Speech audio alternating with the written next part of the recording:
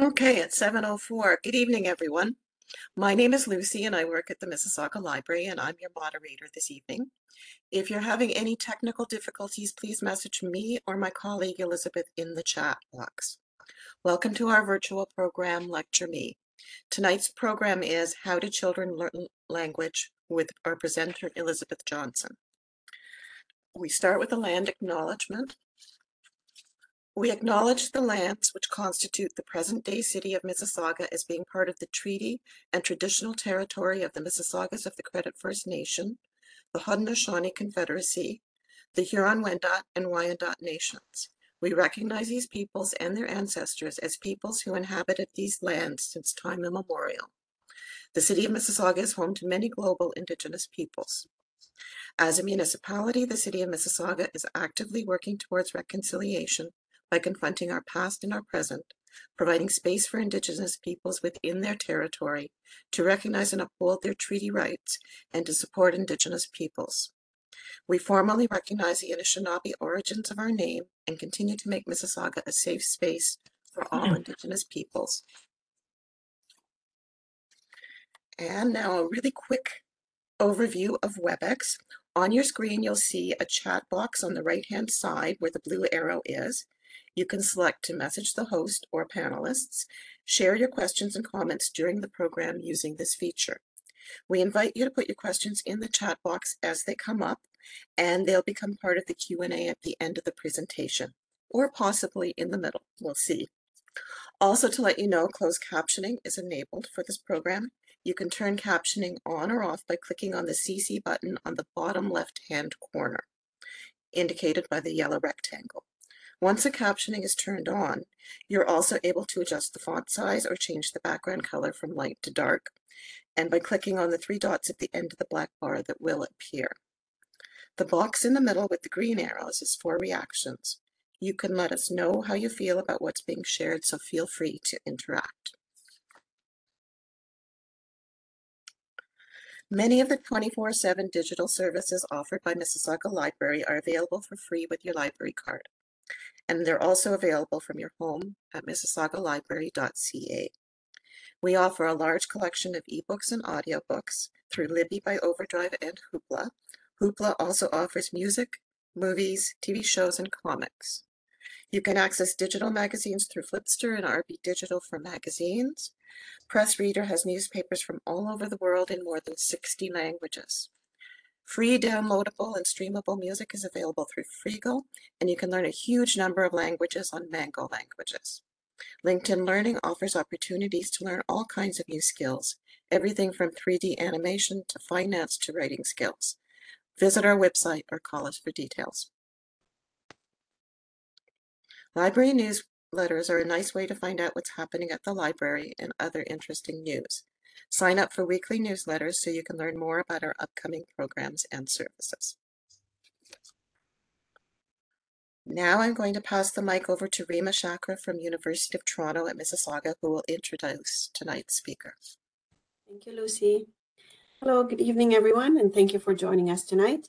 My name is Rima Aboushakra. I'm from the Experiential Education Unit, Office of the Vice Principal Academic and Dean at the University of Toronto, Mississauga.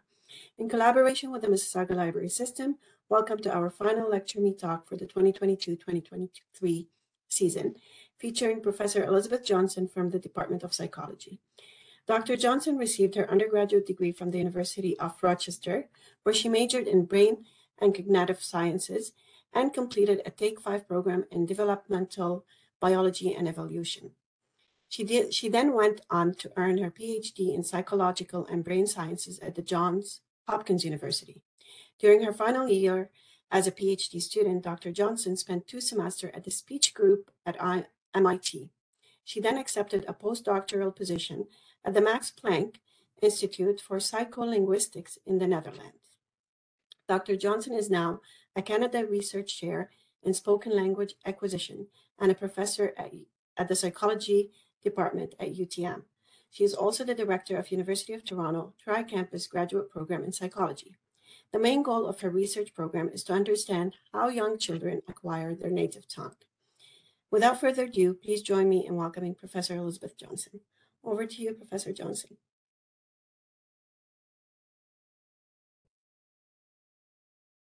Thanks. Um, can everyone hear me?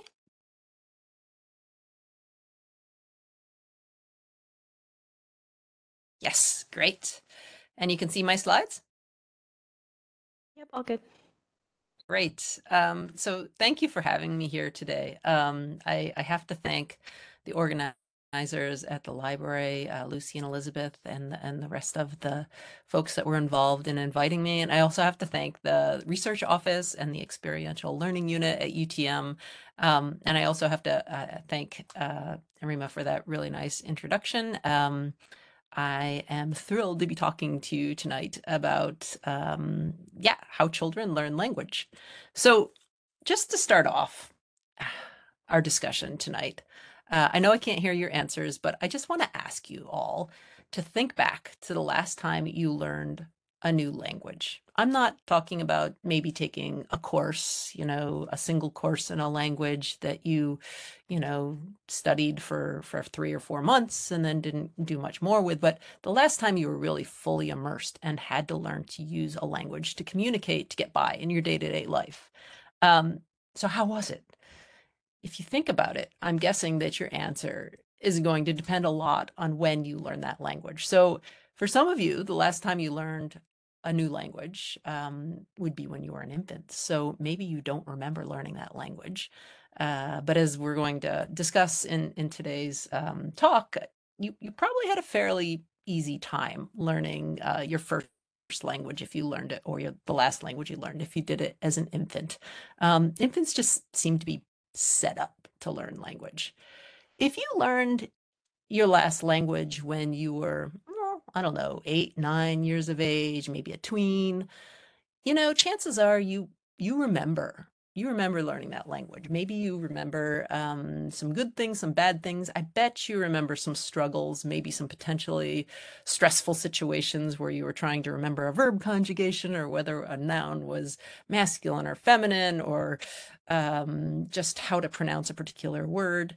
Um, but chances are it was a bit of a challenge and you had to work at it, but you mastered the language because children are also pretty darn good language learners. But if the last time you learned a new language um, was in adulthood, um, well, learning a new language in adulthood can be a challenge. Uh, it differs. Some people find it a lot easier than others. But generally speaking, it's much more difficult to learn a new language when you're an adult or over the age of 17 let's define adult here, um, than if you are a, a baby or or a, a young child. Um, so why is this? Um, why why why would it be so much harder to learn a language when you're an adult than it is when you're a child or, or a baby? Um, well, this is this is something that I started thinking about when I was an undergraduate. Um, I mean, I now, my official title, I'm a developmental psycholinguist. I can tell you, I did not know what a developmental psycholinguist was before I went to university. Um, it's something that I really became interested in when I was an undergraduate, uh, thanks to a professor that I had, Elissa Newport, who was responsible um, for putting together this this now famous figure that suggests that um, when you learn a language has a huge effect on on how well you will learn that language. We all know this just from day-to-day life, but there was actual um, evidence looking at immigrants to the U.S., folks who immigrated at different ages, and how well they mastered the grammar of, of the language. And there have been so many other studies on this topic. And again and again and again, we see this pattern where infants, kids, they're really good at learning a language. Adults, not so hot. Huge variability. I mean, some adults are better than others, um, and some kids struggle more than others, but for the most part, this pattern really holds up. And this is this is something I I found really fascinating. So infants, they can learn a language very well. Uh, young kids struggle a bit, as you can see, performance is dropping off. The way you read this figure is you basically, if you want to see how well you might be predicted to learn a new language, you find your age on the horizontal axis and you find um, how high the dots are on the, the vertical axis. And, and you can see where you would be. I'm, I'm over there. um, you know, in the adult range. Uh, so yeah, for me, it would be very difficult to learn a new language, and for most of us um, as adults, it's it's difficult. Why is it that young children they struggle to do so many things. Adults are better than young children in so many things. So kids struggle to learn to ride a bike.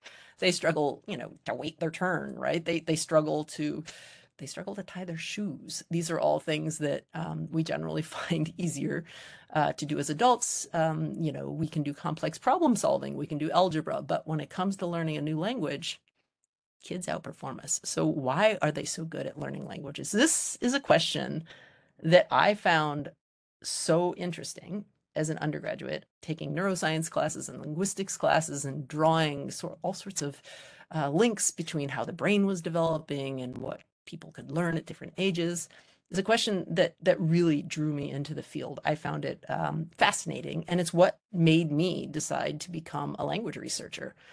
Um, so as a language researcher what do i do? I i think that it'd be good to just just to be clear about what i do. There are lots of things i could do. Saying i'm a language researcher um, saying that i'm a developmental psycholinguist that could mean a lot of different things. People who go by those labels um, they work on really different topics. So for example there could be a, a theoretical approach um, where hold on.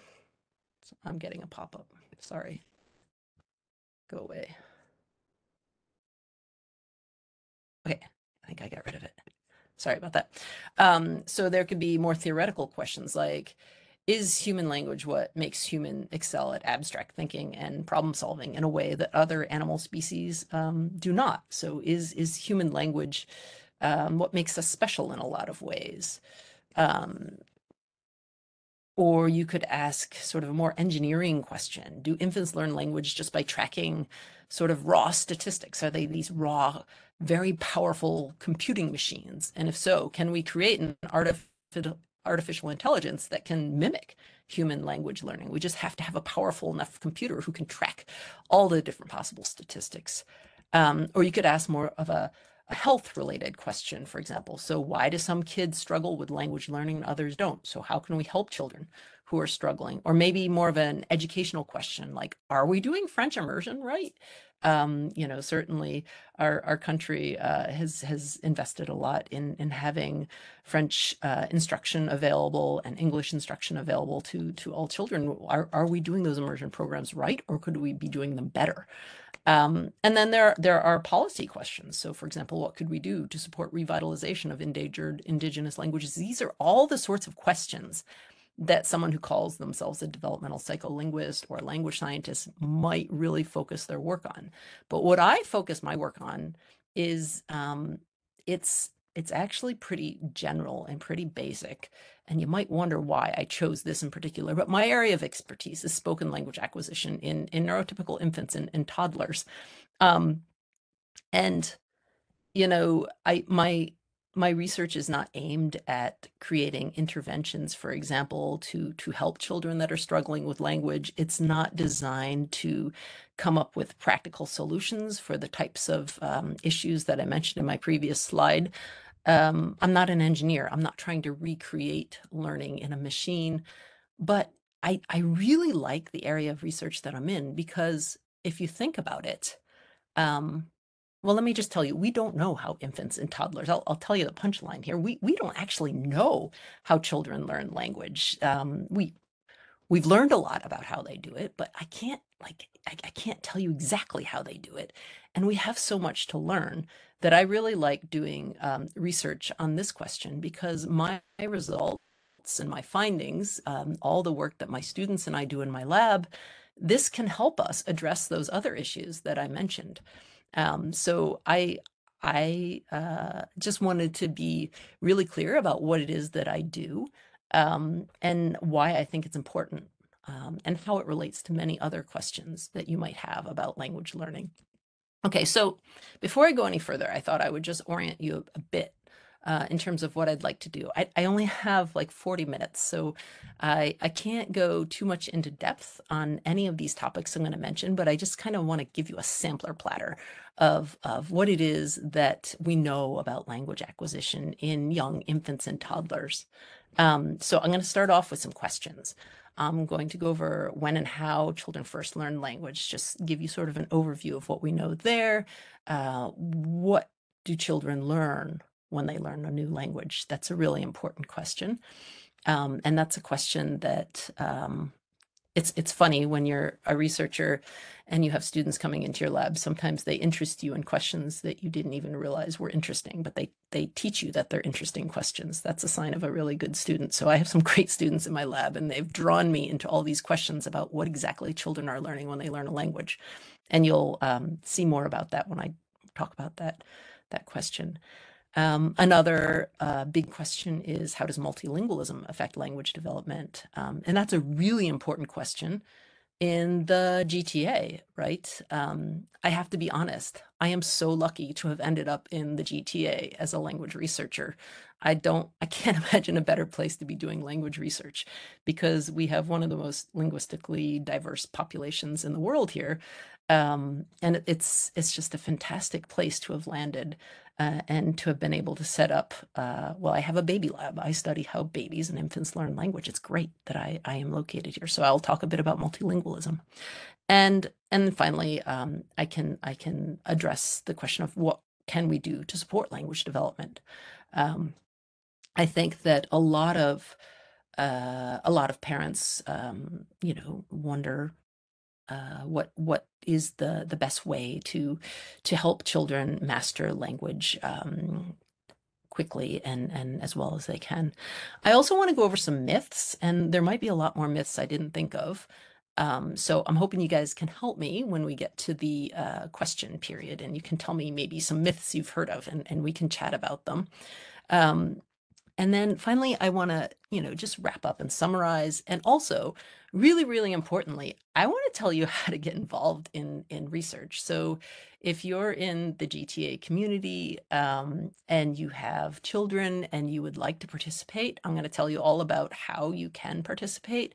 Uh, we've got a fantastic. If you've never been to the UTM campus, UTM campus is it's a it's it's a gorgeous campus. It's getting nicer every day, and um, I'm I'm very proud of of the setup that we have there. And we really have world class researchers at, at UTM. Our developmental researchers uh, are are amazing. Um, and it's it's really fun to come in. So I'm going to tell you all about how to get involved. And if you don't have children, um, you know there may be other ways to get involved. So, for example, uh, we're oftentimes looking for adults who learned English late in life. Um, for example, right now we're really looking for people who are um, native Mandarin speakers but learned English late in life. So I'm going to tell you all about uh, how you can get involved. And getting involved is fun because then you actually learn more about language and you get to talk to the students who are, who are getting PhDs in language acquisition, which can be a lot of fun if you're interested in the topic.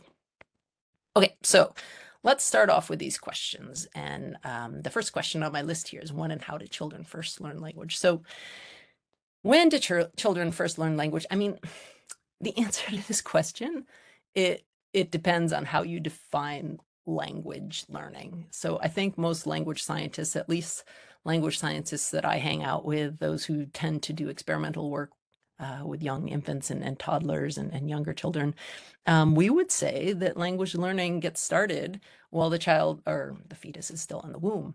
Um, and it's not because, you know, moms or moms to be have to walk around with headphones on their belly like this picture seems to suggest although i have to admit when when i got pregnant with my own kids i had so many people give me um, little belts to wear on my belly to introduce sounds but I, I didn't use them because you don't actually need that for a fetus to be exposed to language. So um, the auditory system of a fetus becomes operational in the third trimester and the most salient external stimulation, auditory stimulation that the fetus receives is the mom's voice. Um, and we know this because you know you can see the fetus responding to the mother's voice through motor activity, uh, visually through ultrasound. You can see uh, reactions, um, and also if you test newborn babies, they recognize their mother's voice. They also recognize their their mother's language.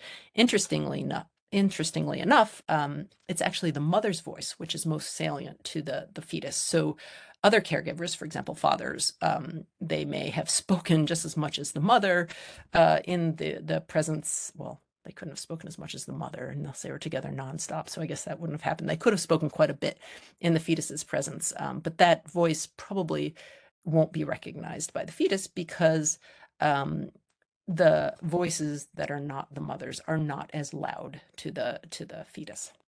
I can go into more uh, detail if you'd like, but and then the next probably um, well-known thing is that when do children start speaking? Around the first birthday, you typically get first words. Um, I say this with some trepidation because uh, I think people uh, sometimes get a little um, too focused on on milestones. So if I say children typically spend or say their first word around their first birthday, and your child doesn't happen to say their first word by their first birthday, don't panic. There's huge individual variation. So I have two kids, and one said their first word well before their first birthday. It happened to be the name of our family dog. It was not mom. It was it was our family dog's name. Um, and you know, the other child said their first word well after, well after their first birthday, but both um, acquired language um, very well and and are very verbally skilled and healthy children. So don't don't worry if if your child doesn't speak their first word immediately um, when they turn one. There's a lot of variation. That said, went on a tangent a bit there, but that said, from being born to reaching their first birthday, uh, I've I've given you two sort of points in in development of language, but a lot must happen between birth and and saying your first word, right? I mean, how could you possibly say your first word without learning a lot? So, in fact, um, we've we've learned in recent years. This is this is something that I'm really interested in. So, my research is very very focused on um, development between four months and about 10 months. I find that to be a really, really interesting age. Um, and what we've learned through uh, different types of studies is that kids learn so much before they say that first word. If you think about all of the knowledge that needs to be acquired, um, one interesting way we've learned about um, we've learned about children's language knowledge early on is through studies that um, test adults' language abilities actually uh, on languages that they were exposed to or learned as infants, but then never had exposure to again. So, for example, um, um, a uh, very well known study has looked at um, Korean children who were adopted in the Netherlands. And those children who were adopted between three and seven months of age um, all of the children in the study hadn't had any contact with Korean since they were adopted, the Korean language, um, and they had learned Dutch. Dutch had basically replaced Korean as their first language or their their only language, and they couldn't even identify Korean. For example, if you if you played three languages and Korean was one of them, they couldn't even reliably identify which language was Korean. So they really forgot Korean, and yet those children could relearn Korean sounds and words faster than um, people who had never been exposed to Korean as as babies, so that we know really early on um, information is being laid down about the sound structure of a of a language. So really, in a way. Uh, even if you don't remember your first language, this is this is actually a much more common situation than people realize. The language that you learn first is not necessarily the language that you know now.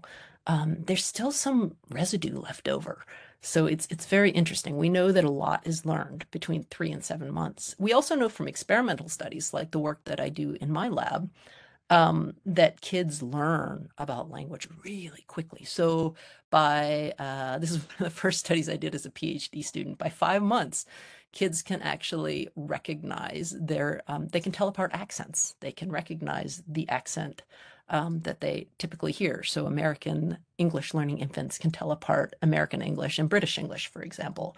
Um, and, you know, you really need to know quite a bit to tell apart those two varieties of, of English.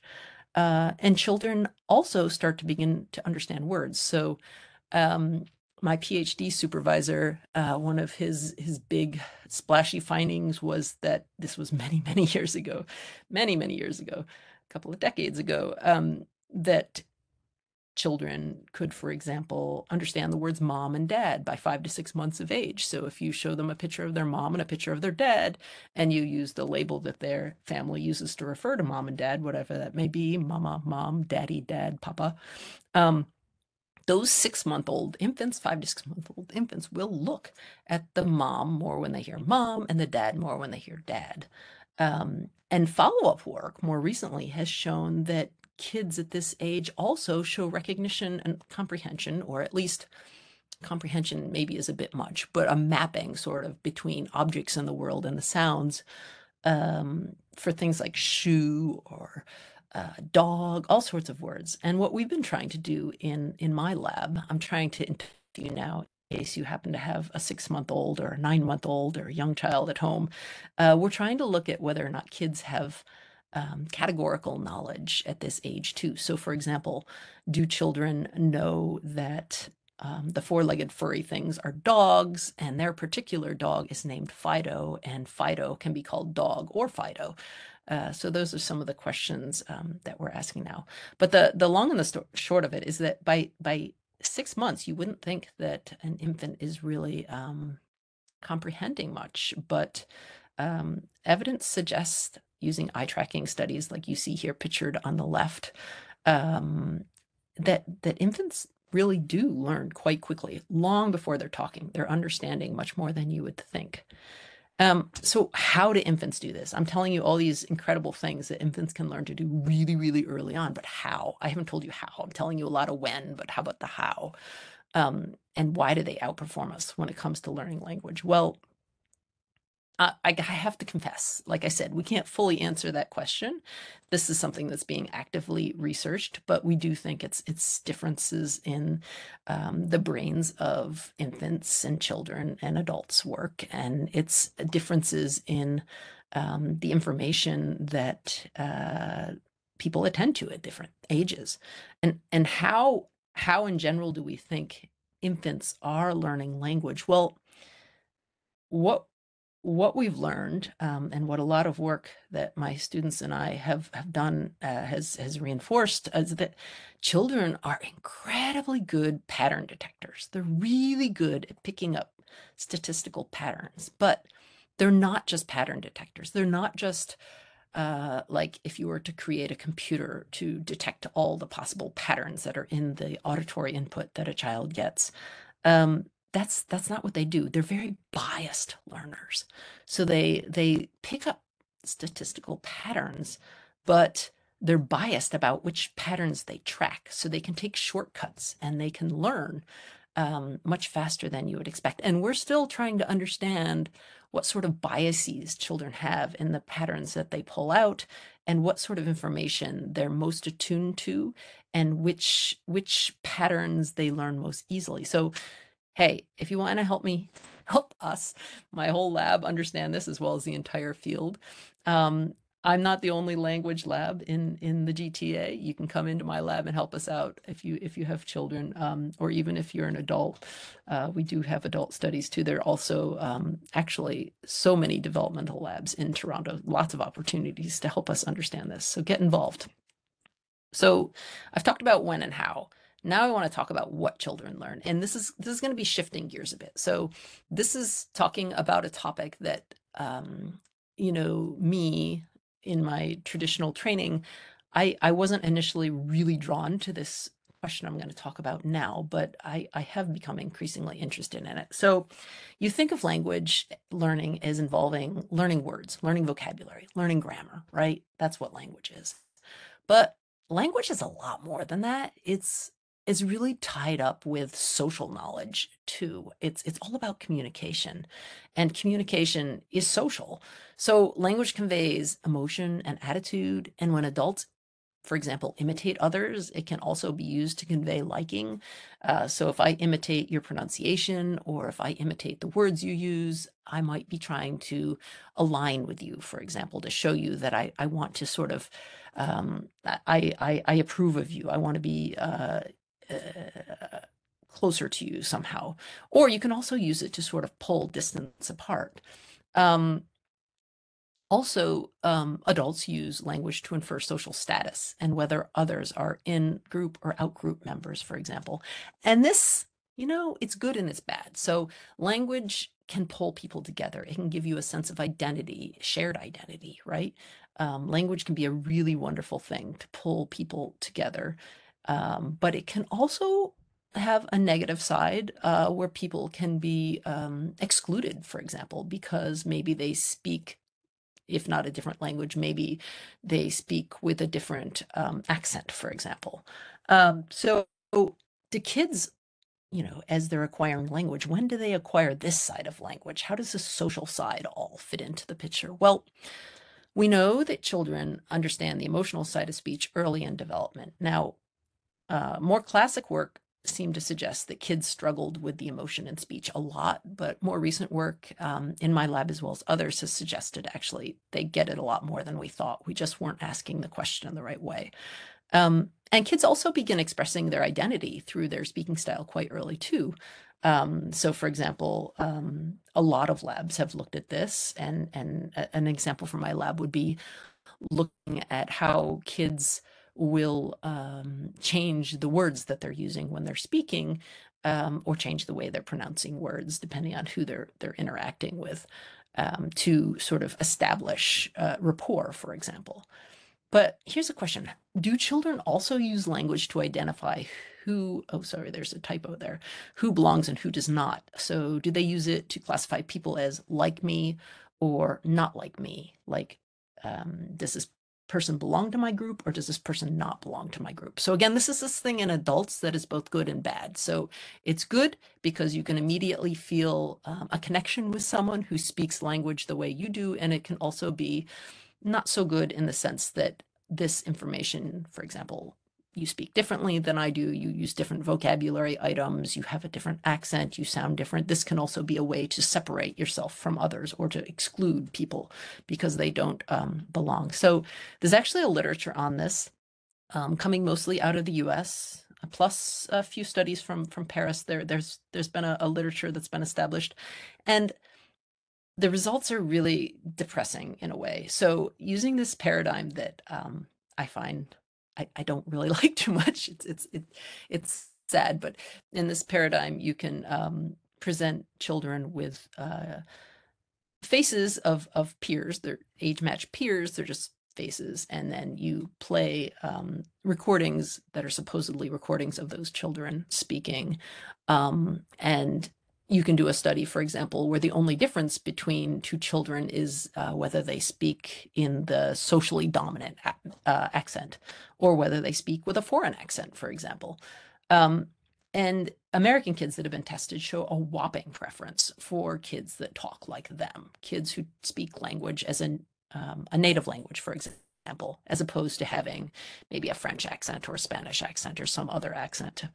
Um, when I read about this literature, and my students read about this literature, we all felt that kids in the GTA couldn't possibly feel this way about accents. We thought, no, not here in, in the GTA, not where we have so many different languages. So we actually um, we we've been looking at linguistic biases in young kids and when kids pick up on this information and how they use it. And um, the the results have been disheartening, to be honest. So in actuality, um, kids here in the GTA, as young as three, four years of age, do show a strong preference for peers who speak like them in these sort of artificial paradigms. But nonetheless, they do show these preferences uh, for children who sound like they grew up in the GTA learning English, the, the socially dominant sort of English um, version of English here, not people who sound like they learned another language first and then learned English. So the worst part of it is that these biases seem to get stronger with age. So we've tested kids all the way up to nine, and the the biases and the preferences for people who speak with a native Ontario accent grow stronger and stronger. And we've tested it in different contexts. So we've tested it, for example, like who do you think would be a better teacher? And they hear adults with different accents, and we see it there too. So here again, I'm asking you to help me. I actually have students working on strategies for how we could mitigate um, those biases and you know um, it would be great to have more help in in developing um, some strategies for for mitigating these biases. And it's a question i really want to um, explore more and understand better. Okay so next i want to talk about how multilingualism affects language development. Um, let me see. So, the advice that my parents received, I'm kind of old now, so um, this was a long time ago, and I grew up in the US, so things uh, may have been different in the US. But the advice that my parents received um, when I was a baby and I had two parents who spoke different languages as their first language, the advice was just speak English to your kid. Um, you don't want to slow language development.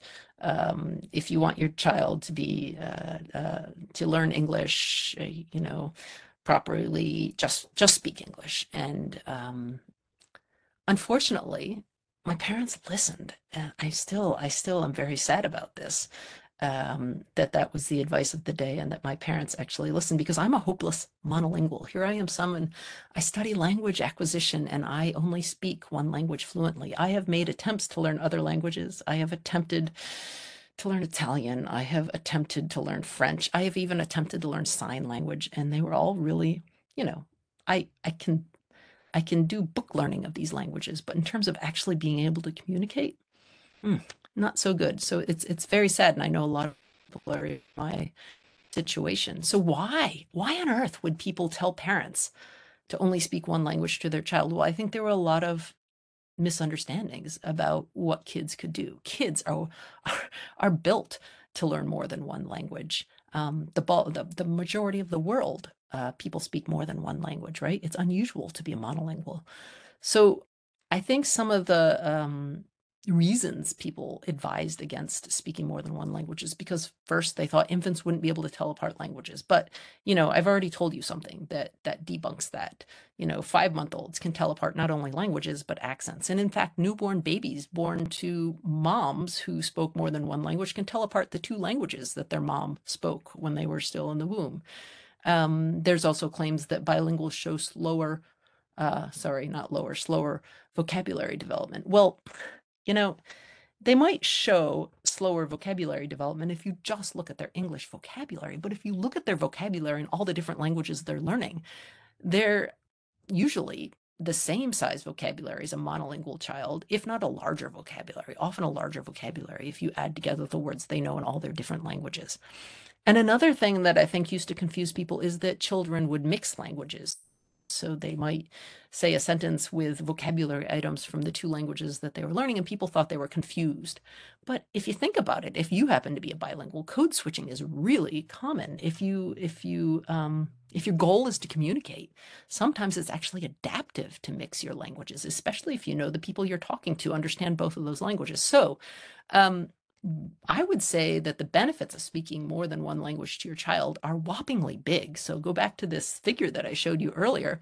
Um, certainly, learning a language early on is a lot uh, easier than learning it later on. And especially if this is going to allow you to communicate with caregivers or family members uh, or community members in a language that's their first language. Of course, it's different to be able to communicate to, for example, your grandmother in the language that is her her first language, or maybe her only language um, that's just very very valuable. And also it it uh, it can be very uh, useful to um, know more than one language and, and sort of understand how languages differ that really just gives you a whole new perspective on the world. So my advice is uh, go for it. Bilingualism monolingual monolingualism is is odd uh, multilingualism, not just bilingualism, but multilingualism is, is great. Um, and even if English becomes the dominant language when school starts for a child, I don't think um, that doesn't mean that that other language or other languages that may have been learned before in, before school starts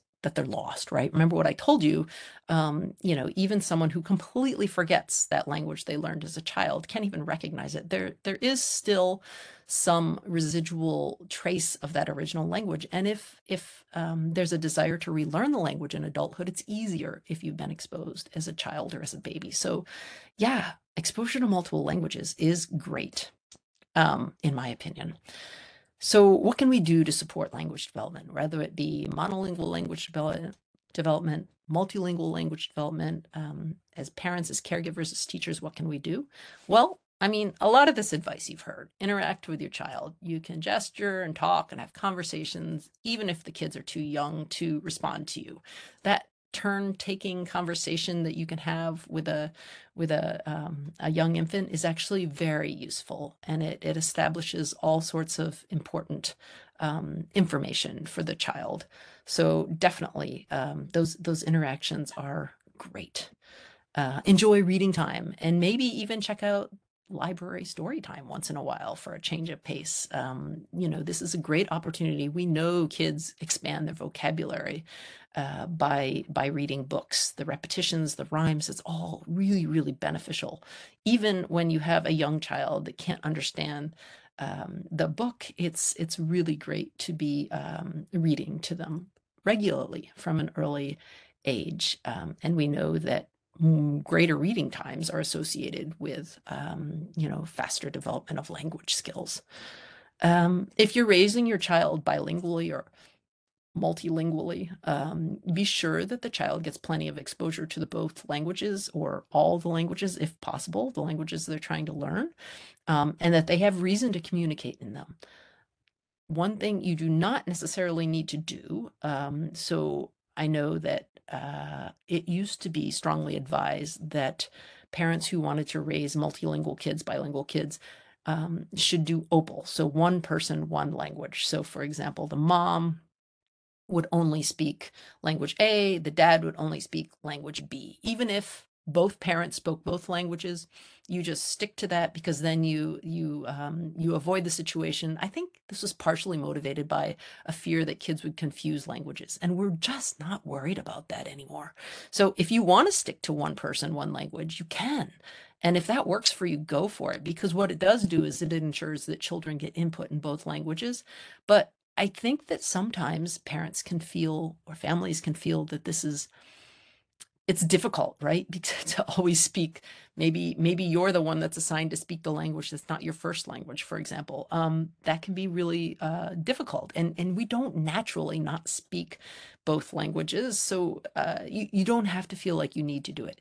The important thing is that a child gets exposure um, in lots of different circumstances if possible and has motivation to learn the different languages. But you don't necessarily have to stick to OPOL one person one language. Again if it's working for you go for it.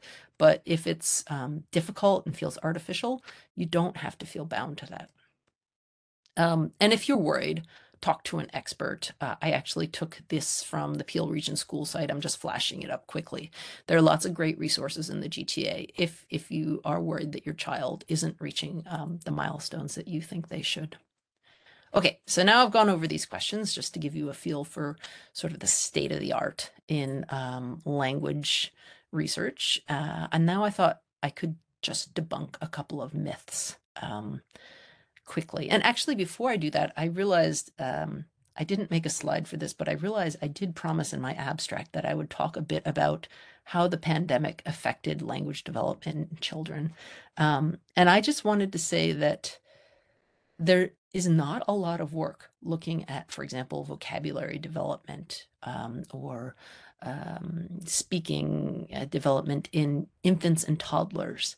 Um, there, there are some studies and one of those studies, actually, we did a large scale study. One of my PhD students did a large scale study in our lab. Um, we had over, uh, gosh, over 3,000, 4,000 kids participate in that study. And um, I can say more later, but I'd say in general, the news is good. So for most of the children um, that we looked at, we don't see a really big negative impact on um, on their vocabulary development, for example, because of the pandemic. So if we compare vocabulary growth before the pandemic hit, and in those children um, who were uh, most most affected by lockdown, so we look at uh, those children. Um, and their vocabulary development between like six and 18 months. Um, I'll just say that the the effect was not um, generally speaking, children failed, fared very, very well. They're quite resilient. There were some children um, that that may have had a slight negative impact, um, but that was um, just a select sample of those kids. So I can talk about that more if you want. But in general, I think the news is good. I think kids are resilient and they're they're doing okay. Okay, moving on to myths. So myth number one: um, learning more than one language at once will negatively negatively impact your child's development. Well, no, I, I I would say that for most children, um, you know, again, every situation is different. So if you're worried, talk to a professional. But for most children, um, learning more than one language at once um, won't negatively impact your child. If you are worried about, for example, the fact that they may start speaking a little later than other children who are not learning the same number of languages, maybe they're only learning one language, you know, that's to be expected. Um, and um, yeah, in, in general, uh, you don't have to worry about um, exposure to more than one language at once. Children are built to handle more than one language at once. It's really more the norm uh, in if we look at across the world's population. So no, don't worry about it. Myth number two, speaking to your baby like they are a baby will slow language development. Um, this seems to be a big one. So oh, this is going to be really embarrassing. Um, and I can't do it all. It's gonna it's gonna sound bizarre because it's hard to do when I'm staring at a screen. But uh, I'll look at the baby in the picture and try to do it. But you know that sing-songy voice you do when you talk to a baby. Oh, isn't that yeah that that voice. Um, you know what I mean. So some people worry that speaking to a child like that will hinder um, uh, development, and there's really um, no evidence that that that is the case. So um, you, you, don't want to talk to a six-year-old like that. But uh, speaking to infants um, and to some extent toddlers like that is generally not an issue. Um, and the interesting thing is that research suggests that we actually adapt uh, the information we're providing um, through that sort of infant directed speech. So when we really need that that attention getting mechanism we really we're we're we're emphasizing anything that will get a baby's attention in our speech. And when we need to highlight certain words we we position things in, in salient positions and use our voice and the melody of our voice to really accentuate information that kids need to get. So i think you don't have to be too worried about that um, infant directed speech. Um, and in fact some people uh, actually many labs, um, although I find the evidence a little controversial, but I mean, a lot of people would claim that um, that infant-directed style of speech really scaffolds language development and can actually uh, speed language acquisition. So um, I, I don't think you have to be as worried about that that speaking style. You do not have to speak to your child as if they are an adult. It is okay to use that sort of emotionally um, charged, happy tone that that children just love. Uh, myth number three: you should always correct toddlers when they do not pronounce words properly. Um, so I think this. Uh, I'll give an example from one of my own kids who used to call sharks socks and that could be very confusing she just she couldn't say sharks she said socks and we learned that socks meant sharks and gosh if she was actually trying to say socks hopefully we didn't think she was saying sharks but um the thing is that we've learned through uh, if if I had corrected her, she would have gotten quite annoyed with me. I would say, "You mean shark?" She'd be like, "Sock." I'm like, "Yeah, you mean shark?" She's like, "Yeah, I said sock." Uh, so so when children say things, toddlers um, say things a little differently than we expect, and we we might call that a, a mispronunciation. Um, what we've shown with perceptual studies is that toddlers typically have very good representations of words. They actually understand words spoken by adults better than their own pronunciation of words. And we know this because we actually recorded two year olds saying, uh, labeling objects. Um, and we recorded their parents labeling objects, and they actually understand their parents or even a strange adult better than they understand their own voice. So, what we think is going on is that they actually um, they know how to say the word, uh, but when they say it, um, due to limitations in, in production, et cetera. It doesn't come out um, the way that, for example, you might expect it to be pronounced, but um, correcting them will f- oftentimes frustrate them. I'm not saying you should never correct a child, but I think that you shouldn't feel the need to um, repeatedly correct a, a toddler. Um, usually, those those pronunciations just develop with with time. Myth number four, young children can expand their vocabularies and learn new languages by watching videos. So I know this is a controversial one. Um, I know that, you know, screens are ubic ubiquitous. Um, but what I am saying here is that um, infants and toddlers don't really learn language from uh, passive videos. Um, and in fact, it's not recommended by pediatricians that children under two have screen time. Uh, I'm not saying that screen time, um, certain types of screen time, can't be beneficial for older kids. So, for example, four and five year olds can really benefit from certain types of programming. Uh, but infants and toddlers really don't. So there's a fair bit of experimental evidence that they really just don't learn from from videos. Um, but I am not saying that, for example, skyping with uh, relatives is is a bad thing. I'm talking about passive exposure. Um, passive exposure to um, to another language or to to a language uh, tape that might be um, might be suggesting that they are teaching new vocabulary items to your kids. Really, honestly, take your kids to, to story time at the library. That that would be a, a better way to build vocabulary than to buy language tapes that that are supposedly teaching them new vocabulary items. So um, pediatricians really don't recommend screen times for kids under two. Infants and toddlers aren't going to learn language from um, screens. I'm not saying that older children can't benefit. Um, so, uh, for example, my own kids, you know, in French immersion, I would encourage them to watch uh, cartoons in in French. They're older; they can actually gain vocabulary items from that. But infants and toddlers don't learn language from uh, from recordings. Okay, so what's my summary here? Um, language acquisition starts early, really early. Um, you know, you may have heard kids can hear things in the womb, but kids are actually starting to show recognition of words at six months. That's amazing to me. Um, and first languages are never really fully lost, which is also really amazing. There's something special about those first three to seven months of life. Things that are heard then really do make this permanent imprint on the on the brain.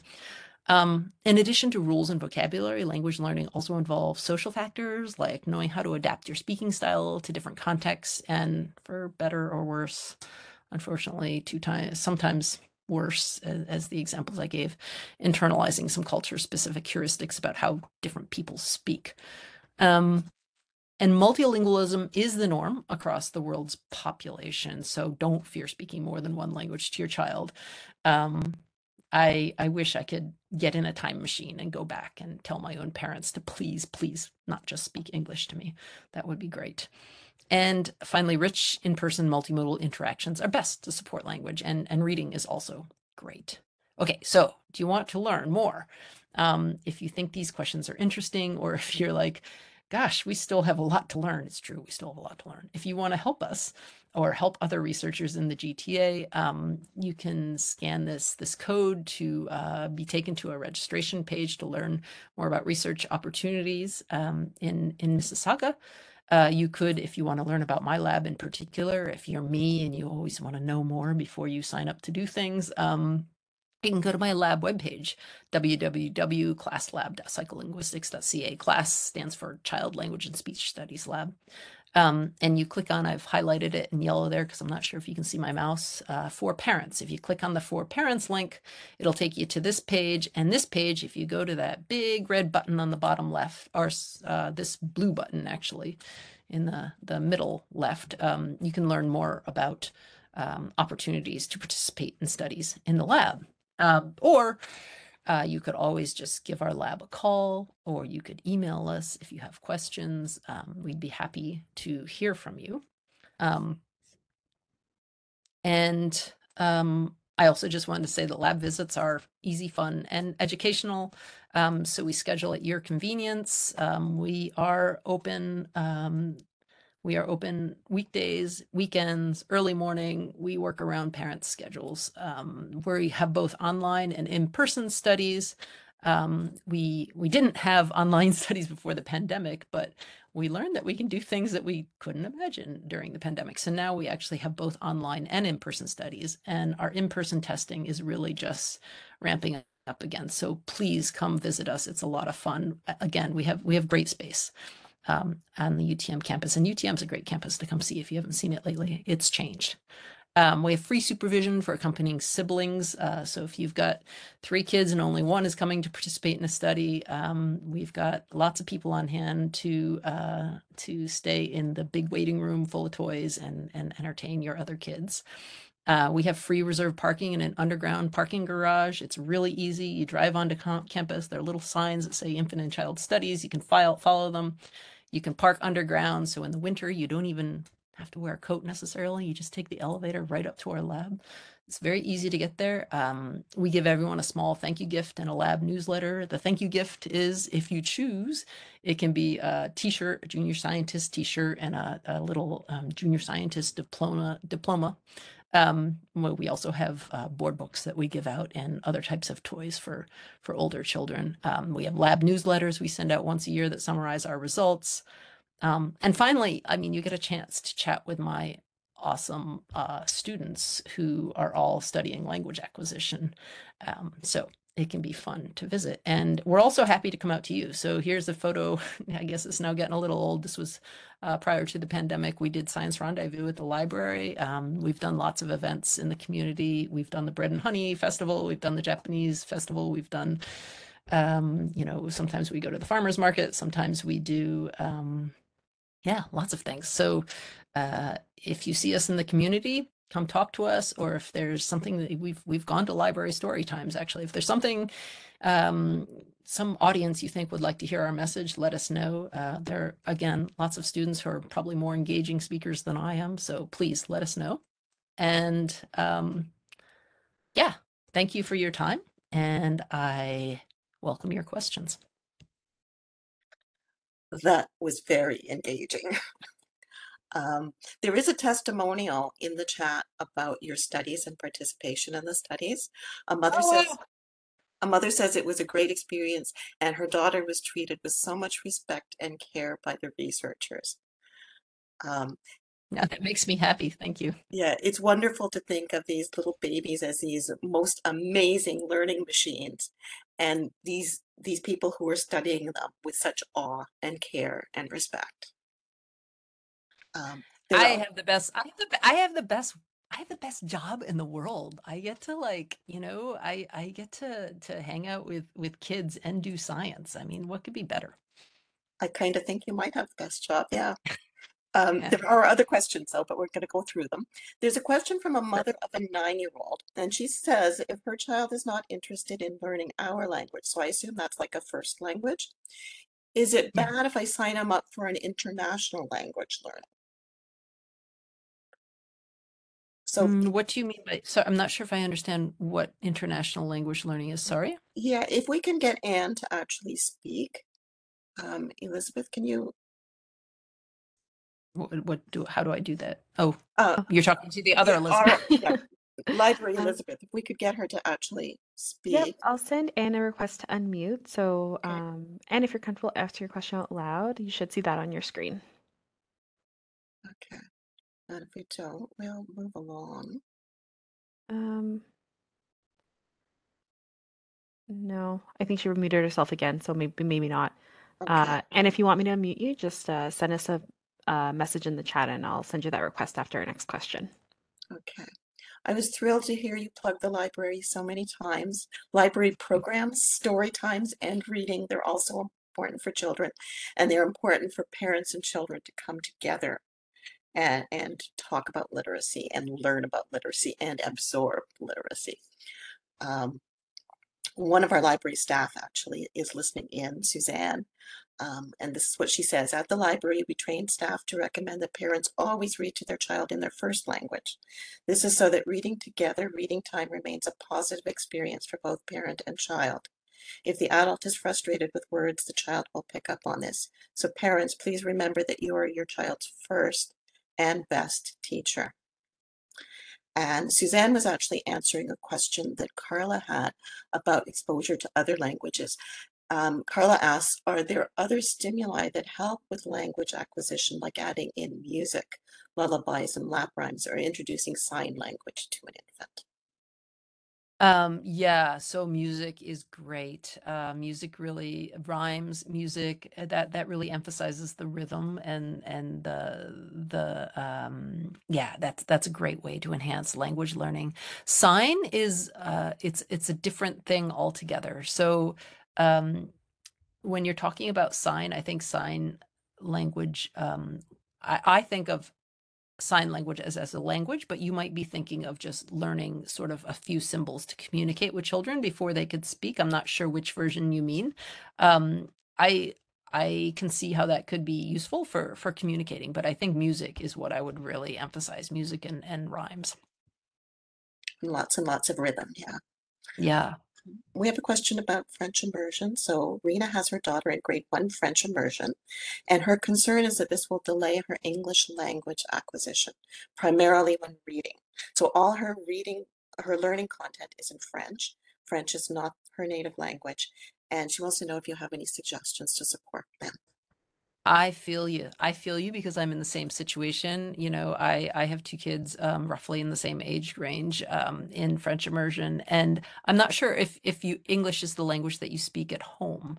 Um, so if English is the language that you're speaking at home, um, then it, can I have clarification? Is that is that the case?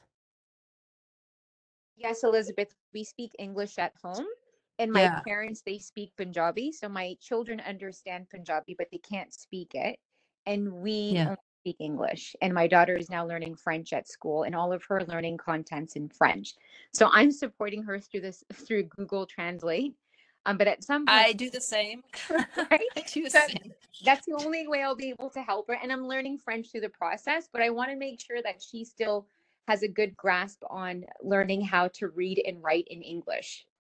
Yeah, I mean, I I was really worried about this. Um, so I I have a French immersion third grader. Um, s- I'm here. I'm speaking from personal experience instead of science here. I mean, I think that um, I had the same concerns, and then my child did pick up English. It was a little later, so I I spoke to a lot of people about this, a lot of teachers and and educators, and when you do have a child in French immersion, um, depending on how much you are working on reading at home, reading can come a little bit later in English. Um, obviously, because they're getting French in school all day. Um, so I think it can be slower, and that's okay. Um, but they are learning French, which which is quite a benefit. So you you you sort of have to you have to weigh the cost and and um, the the the delay in in learning to read in English, but learning to read in French, for example, will help them learn to read in English, or vice versa. Um, those skills do translate a little bit, uh, so it's nice to keep that in mind. Um, and also remember that French immersion, I mean, it's it's built for kids who don't have French speaking parents at home. So they know, I think they know that those kids aren't aren't getting that French support at home. Um, that said, I, I do see the the the issue and and um, there are different solutions. So if your child is in French immersion in Mississauga in Peel region, for example, I think it's half day French immersion, half day English, whereas in Toronto it's now full day French and it starts when kids are in JK. So it's it's a lot more French. Um, yeah, yeah. I, I think it's it's a valid um, concern and it's one that a lot of um, parents have, but I do think the kids do pick up the the reading skill in the other language, and you have to encourage it, right? Um, yeah Great. sorry, that's not a no, completely that's so not a completely satisfactory it's not a completely satisfactory answer because I think it is it is something you have to think about and it is something you have to support. You do have to support Great. the Thank you so in, much. in I do appreciate your insight. And Sienna is in full day. But Elizabeth, I will certainly pick your brain following today's talk. Yeah, for sure. Great. Thank you. And it's clear from a lot of the feedback on the chat line that parents worry, caring parents worry no matter what they're doing. They always want to get it right. They worry about this. I understand. I'm a parent too. I worry, worry, worry. It's it's okay. Um, but I think the important thing to remember is kids are resilient, especially when it comes to language. They are so good. Um, kids are resilient. They they will learn to read in English and French, and it's great if they can also understand another language, as is the case with the the the parent we just spoke with. So, um, be patient. Um, every kid has a different they all are in a different situation don't compare your kid to another kid don't just just be patient and um you know if if you're really worried talk to talk to an expert but but children do learn they can learn and if they are a little bit slower on learning to read in english for example or if they're a little bit slower to read speak their first word as, as a baby because they're learning more than one language it's it's okay um, the benefits are are great and they have they're learning a lot more it's okay. Yeah. Here's another thing that parents worry about. Diana wonders, is it possible for children to learn a language when they're not immersed in it at home? For example, through weekend classes. Um, are you talking about French immersion? Because that sounds like French immersion to me, I- or, I- or I think- immersion into another. I think they're thinking more of weekend classes like Mandarin on Saturday afternoon at, at So can you learn can you learn Mandarin through Mandarin classes on Saturday afternoon alone? Um, I think that you uh, there's individual variation. I think that kids learn a language when they have a good reason to learn a language. They need to communicate in that language. So some of the programs are really good because um, they are motivated to communicate in Mandarin um, through those programs.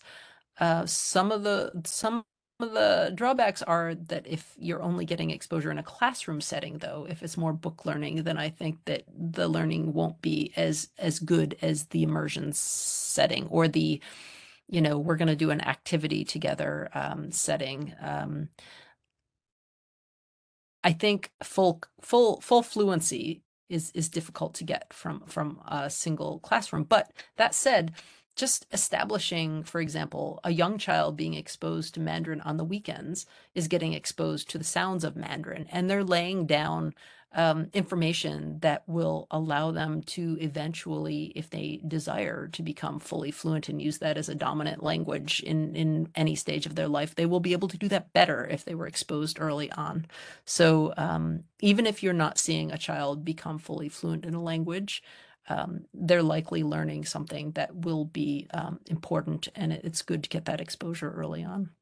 But I do agree it's quite difficult to really learn a language from a weekend class. Um, that's more of a support, I think, um, and a way for children to meet other children who are learning that same language and have motivation to speak the language. Yeah, thank you.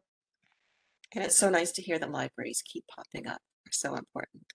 There's another testimonial, and I just want to read. I am so happy that my daughter was one of your junior scientists. That comes from Rima. and I That's think, awesome. I think we have one last question here at the end. Um,